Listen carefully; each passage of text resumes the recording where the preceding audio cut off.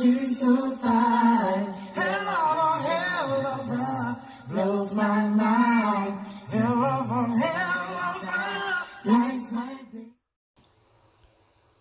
What's good, guys? This story came out on May the 12th. It's coming via People magazine, and I want to thank Marie722 for sending it to me. Florida man charged with murder after authorities find human remains buried on his property. That's a picture of the man who owns the property where the human remains were found, Johnny Edwards Malisham. A Florida man was arrested Sunday after authorities found human remains on his property. Johnny Edwards Malisham, 60, is facing homicide charges after the Santa Rosa County Sheriff's Office received a tip that a body was buried at his address, according to a press release. Shortly after receiving the tip, detectives were able to locate the unidentified human remains. Quote, investigators discovered sufficient evidence and probable cause to obtain a warrant for the arrest of Malisham on homicide charges, end quote, the sheriff's office wrote. Authorities are working to identify the remains officially.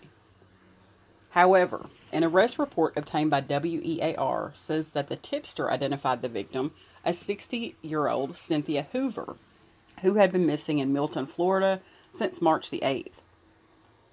The tip came from a woman who said she has known Malisham for 15 years, and he tried to get her to help him hide Hoover's body, WEAR reports.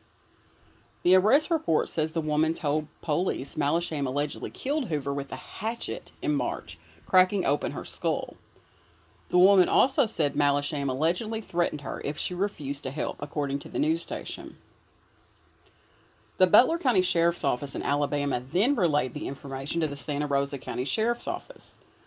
Malisham previously served 12 years in prison in Alabama for a manslaughter conviction, the Florida State Attorney's Office told WEAR. Quote, part of our analysis is in their prior record, Assistant State Attorney John Molchan, Molchon said. Certainly, anybody with a prior of that magnitude, we will certainly take and vigorously prosecute that individual. We would do that with anybody under the circumstances, end quote.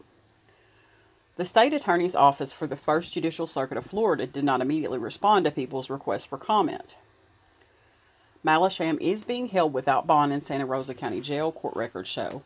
In addition to one count of murder, Malisham also faces a charge of possession of a weapon by a convicted felon. An attorney for Malisham could not be identified to comment on his behalf. It's unclear if he has entered a plea at this time. So, they didn't specifically say it, but it sounds like this informant or the person that relayed the information was actually in Alabama.